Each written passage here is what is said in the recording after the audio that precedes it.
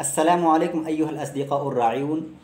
اليوم أريد أن أقص عليكم قصة عجيبة لها درسا عظيما في حياتنا وكذلك حياتكم. وهي كان في بركة صغيرة السلحفاة تعيش. وكانت لهذه السلحفاة صداقة مع البطتين ولما اشتدت الحرارة في أيام الصيف بدأت مياه البركة تنفذ فأرادت البطتان أن تطير إلى بركة أخرى وكبرى. وأخبرت البطتان السلحفاة غدا سنطير إلى بركة أخرى وكبرى. وعندما سمعت السلحفاة هذه الكلمات خافت على نفسها وقالت للبطتين لا حياة لي بعدما نفدت المياه. ثم طلبت من البطتين أن تذهب بها وأن تطير بها. وافقت البطتان على هذا الطلب. ولكن سألت كيف وأنت لا تستطيعين الطيران؟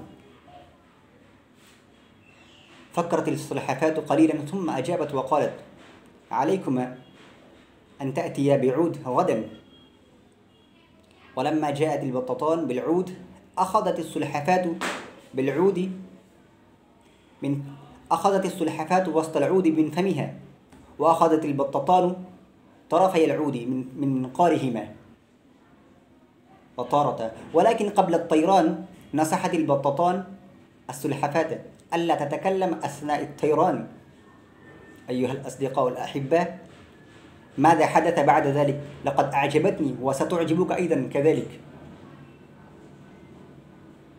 طارت هؤلاء الثلاثة في الهواء بالجو.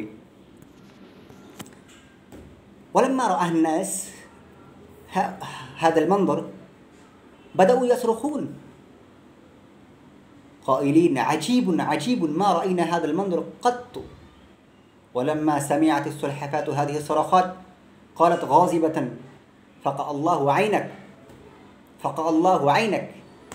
ما إن خرجت هذه الكلمات من فمها؟ انقطع التواصل من العود وإبتدعت من وإبتعد عن العود.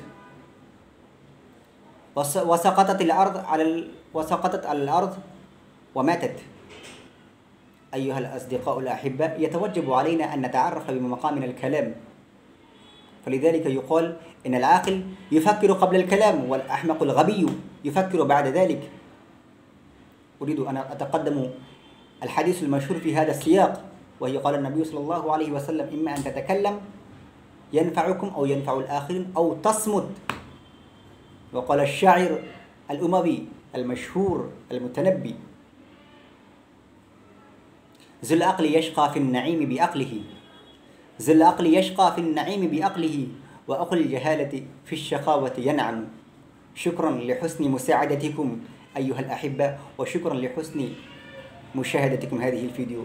مع السلامة إلى اللقاء.